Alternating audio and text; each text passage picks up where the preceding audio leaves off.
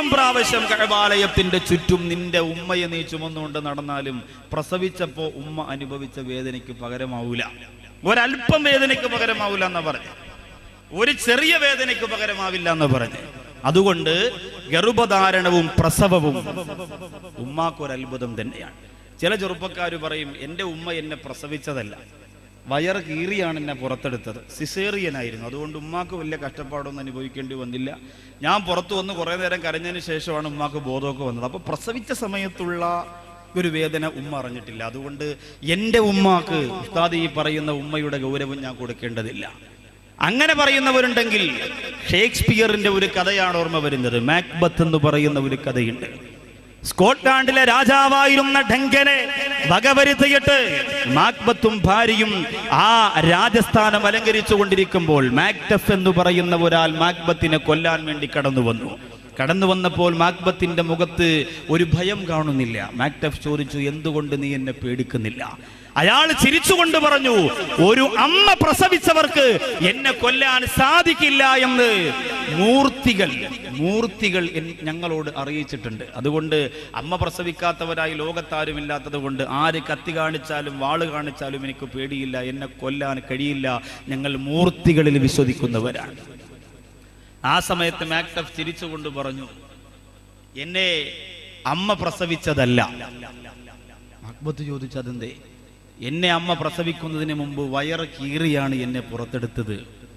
എന്ന് പറഞ്ഞിട്ട് പൊട്ടിച്ചിരിച്ചുകൊണ്ട് കടാരം അക്ബത്തിന്റെ നെഞ്ചകത്തിലേക്ക് കടത്തിയെങ്കിൽ ഇതുപോലെ ചില ചെറുപ്പക്കാർ പറയും എന്നെ ഉമ്മ എന്നെ പ്രസവിച്ചതല്ല വയറ് കീറി പുറത്തെടുത്തതാണ് അങ്ങനെയാണെങ്കിൽ ലോകത്ത് ഈ സ്നേഹം പഠിപ്പിച്ച പ്രവാചകൻ നബി മുഹമ്മദ് മുസ്തഫ സല്ലല്ലാഹു അലൈ വസല്ലമ തങ്ങൾ തന്റെ ഉമ്മയെ മാത്രമല്ല ഉമ്മ എന്ന് വിളിച്ചിട്ടുള്ളത്. പിന്നെയോ? ഉമ്മയെ മാത്രമല്ല ഉമ്മ എന്ന് വിളിച്ചിട്ടുള്ളത്. ഉമ്മൂനെ ബിന്റെ ഉമ്മാനേറി ആമിനെ ഉമ്മാനെ ബിയെ മുലകൊടു താറ്റി പോറ്റിയെ ഉമ്മ ബീവി ഹലീമാ. റസൂൽ സല്ലല്ലാഹു അലൈഹി വസല്ലമ തങ്ങളുടെ പ്രിയപ്പെട്ട ഉമ്മ ആമിന ബീവിയാണെങ്കിലും പാൽ കൊടുത്തതാരാ ഓമനിച്ചതാരാ പോറ്റി വളർത്തിയതാരാ ഹലീമ ബീവി റളിയല്ലാഹു അൻഹയാണ്. അവരെ എന്താണ് റസൂൽ വിളിച്ചിരുന്നത്? മോനെ ഉമ്മ ഉമ്മ ഉമ്മ എന്നാ വിളിച്ചിരുന്നത്. അതുകൊണ്ട് സിസേറിയനായതുകൊണ്ട് വയറുകേറി പുറത്തെടുത്തത് കൊണ്ട് എന്റെ ഉമ്മയോട് എനിക്ക് സ്നേഹം കാണിക്കേണ്ട കാര്യമില്ല എന്ന് പറയേണ്ട ചെറുപ്പക്കാരാ. മാതാവിന്റെ സ്നേഹമെന്ന് പറയുന്നത് എന്റെ പ്രിയമുള്ള മക്കളാകുന്ന സഹോദരങ്ങളെ നമുക്ക് നിർബന്ധമാക്കിയെടുക്കുക. ഏറ്റവും വലിയ നീരുവറ്റാത്ത സ്നേഹത്തിന്റെ ഉറവയാണ് മാതാവിനല്ല പൊട്ടിച്ചു കൊടുത്തിരിക്കുന്നത്. അള്ളാഹുവിന്റെ ഖുർആൻ പറയുന്നുണ്ട്. അള്ളാഹുവിന്റെ ഖുർആൻ പറയുന്നുണ്ട്. ഏറ്റവും അധികം വേദനയോട് ഒരു പൊന്നുമോനെ സമുദ്രത്തിലേക്ക് നെയ്ൽനദിയിലേക്ക് ഒഴുക്കി വിട്ട ഒരു മാതാവിന്റെ കണ്ണീരിന്റെ കഥ. സഹിക്കാനാകാതെ ആ സമുദ്രത്തിന്റെ കരയിൽ നിന്ന് വിമ്മിപ്പൊട്ടിപ്പോയ ഒരു മാതാവിന്റെ കഥ. ഏത് പ്രവാചകന്റെ മാതാവാണത്? നെയ്ൽ നദിയിൽ ഒഴുക്കി വിട്ട പ്രവാചകൻ. മൂസാ നബി അലൈഹി സ്വലാം കിസ് പ്രോഗ്രാം ഒക്കെ നടത്തി എല്ലാവരെയും പഠിപ്പിച്ച് സെറ്റപ്പ് ആക്കി വെച്ചിരിക്കുകയാണ്. ഖുർആാനിൽ ഏറ്റവും കൂടുതൽ പേര് പറഞ്ഞിട്ടുള്ള പ്രവാചകൻ മൂസാ നബി അലൈഹി സ്വലാം. ഏറ്റവും അധികം ഒരൊറ്റയടിക്ക് കിബിത്തി വർഗത്തിൽപ്പെട്ട ഒരാളെ കൊന്നുകളഞ്ഞ പ്രവാചകൻ മൂസാ നബി അലൈഹി സ്വലാം. മദീനയിൽ അടക്കപ്പെട്ട പ്രവാചകൻ. ആ മാറോന്ന് ചോദിച്ചാ ഞാൻ എല്ലാം അങ്ങനെ മൂസാ എന്ന് പറയുന്നത് ചോദിച്ചിട്ട് ചോദിച്ചതാ. എല്ലാം അങ്ങനെ മൂസാ നബി എന്ന് പറയാൻ വേണ്ടി പെട്ടെന്ന് ചോദിച്ചതാ ശരി. അപ്പോ ഈ മൂസാ നബി അള്ളാഹുവിന്റെ ഖുർആൻ പറയുന്ന വലഖദു മനന്ന അലൈക മറത്തൻ ഉഖറാ ഇദ് അവൈനാ ഇലാ ഉമ്മിക മാ യുഹാ. അനിഖ്ദി ഫീഹി ബിത്താബൂതി ഫഖ്ദി ഫീഹി ബിൽ യമ്മി. അള്ളാഹുവിന്റെ ഖുർആൻ പറയുകയാണ് ആ മാതാവിന്റെ സങ്കടമത മൂസാ നബി അലൈഹി സ്വലാത്തു ആകുന്ന കുഞ്ഞിനെ അവിടുത്തെ രാജാവ് ഇനി പിറന്നു വീഴുന്ന ആൺമക്കൾ തനിക്ക് നാശമുണ്ടാക്കുമെന്ന് മനസ്സിലാക്കിയപ്പോ പിറന്നു വീഴുന്ന ആൺമക്കളെ മുഴുവനും കൊല്ലാ പ്രഖ്യാപനം നടത്തുകയാണ്. അങ്ങനെ എല്ലാ മക്കളെയും കൊന്നൊടുക്കുമ്പോ മൂസാ നബി ആൺകുട്ടിയാണല്ലോ. ആൺകുട്ടിയെ രക്ഷപ്പെടുത്താൻ വേണ്ടിയിട്ട് പെട്ടിക്കകത്താക്കയിട്ട് നെയ് നദിയുടെ ഓളങ്ങളെ തലോടിയിട്ട് ആ പെട്ടി എങ്ങനെ ഒഴുകിപ്പോര കഥ പറയുന്നുണ്ട്. ആ ഉമ്മാടെ മനസ്സത്ര വേദനിച്ചിട്ടുണ്ടാവും സഹോദരങ്ങളെ. വേളാവൂര് സ്കൂളിലേക്ക് പോകാൻ എട്ട് മണിക്ക് ഒരുങ്ങി തയ്യാറായി ഉമ്മാന്റെ കവളത്ത് മുത്തം കൊടുത്തിട്ട് പോകുന്ന ആറു വയസ്സുള്ള പൊന്നുമോൾ വൈകുന്നേരം നാല് മണിക്ക് മടങ്ങി വരുന്നത് വരെ മനസ്സിന്റെ ഉള്ളിന്റെ ഉള്ളിന്റെ ഉള്ളിൽ സമാധാനമില്ലാതെ കുട്ടിയെ കുറിച്ച് ചിന്തിച്ചുകൊണ്ടിരിക്കുന്ന കൊണ്ടിരിക്കുന്ന എന്റെ വേളാവൂരിലെ ഉമ്മ. തിരുവനന്തപുരത്ത് പോലും ഈ രണ്ടാഴ്ച മുമ്പ് നടന്ന സംഭവമാ. നൂറ്റി ഇരുപത്തഞ്ച് സ്കൂൾ വിദ്യാർത്ഥികളെയും കടത്തിപ്പോയ വാഹനം ഒരു ലോറിയുടെ പിന്നിലിടിക്കുകയാ ഒരപകടവും സംഭവിച്ചില്ല. ലൈറ്റ് ഒന്ന് പൊട്ടിയതേ ഉള്ളൂ.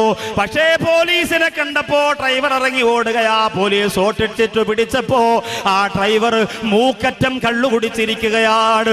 നൂറ്റി ഇരുപത്തഞ്ച് മക്കൾ നാലു വയസ്സുള്ള അഞ്ചു വയസ്സുള്ള. ആ പ്രിയപ്പെട്ട മക്കൾ ഉമ്മാന്റെ കവളത്ത് മുത്തം കൊടുത്ത് വേഗം തൂക്കയിട്ട് സലാം പറഞ്ഞു പോകുന്ന പ്രിയപ്പെട്ട മക്കളെ കൊണ്ടുപോകുന്ന ഡ്രൈവർ എങ്ങനെയാണെങ്കിൽ സമാധാനമുണ്ടോ ഉമ്മ? അങ്ങനാണെങ്കിലോ നെൽനദിയുടെ മുകൾ പരപ്പിലൂടെ ഒടുക്കി വിടുന്ന കുഞ്ഞിന്റെ സങ്കടം ചിന്തിക്കുന്ന ഉമ്മാടെ മനസ്സിന്റെ പ്രയാസം നിങ്ങൾ ആലോചിക്കുക. ഖുർആൻ മാത്രമല്ല അത് പറയുന്നത്. മഹാഭാരതം പരിശോധിച്ചാൽ വെളാവൂര് ഹൈന്ദവ സഹോദരങ്ങൾ ഉണ്ടാകും ഇതിന്റെ പരിസരങ്ങൾ. മഹാഭാരതം പരിശോധിച്ചാൽ കാണാം തൊണ്ണൂറ്റി ഒൻപത് കുഞ്ഞുങ്ങളെ നഷ്ടപ്പെട്ട ഗാന്ധാരി എന്ന മാതാവിന്റെ സങ്കടം. തൊണ്ണൂറ്റി ഒൻപത് മക്കൾ നഷ്ടപ്പെട്ടു പോയി. ശ്രീകൃഷ്ണ ഭഗവാന്റെ മുഖത്ത് നോക്കിയിട്ട് ഗാന്ധാരി പറഞ്ഞു എന്റെ തൊണ്ണൂറ്റി ഒൻപത് മക്കളെയും കൊല്ലിച്ചു കളഞ്ഞല്ലോ. മറുപടി പറയാൻ ശ്രീകൃഷ്ണ ഭഗവാന് വാക്കുകളില്ല. കാരണം ആ മാതാവിന്റെ നൊമ്പരം അത്രത്തോളം വലുതാണ്. ഇതുപോലെ ഒരുപാട് ഒരുപാട് ഒരുപാട്. ഇപ്പോ വൈലോപ്പിള്ളി ശ്രീധരമേനോൻ എഴുതിയ മാമ്പഴം എന്ന് പറയുന്ന മനോഹരമായ കവിത. അതൊരു അമ്മയുടെയും ഒരു കുഞ്ഞിന്റെയും ബന്ധത്തെ വിളിച്ചോതുന്ന കവിതയാണ്. എത്ര ഭംഗിയാണതൊക്കെ.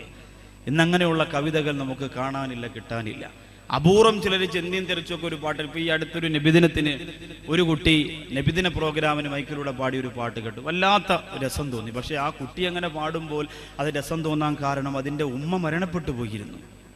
അതിന്റെ ഉമ്മ മരണപ്പെട്ടു പോയിരുന്നു. അതുകൊണ്ടാണ് ആ പാട്ടിന് ആ കുട്ടി പാടിയ രസമുണ്ടായത് ഉമ്മ എന്റെ പൊന്നുമ്മയാ ഉമ്മയെന്നുമെന്നും എന്റെ ജീവനാ. ഉമ്മ തന്ന സ്നേഹം എന്നുമ്മ തന്ന ലാളനും ഒരിക്കലും മറക്കുവാൻ കഴിയുകില്ല.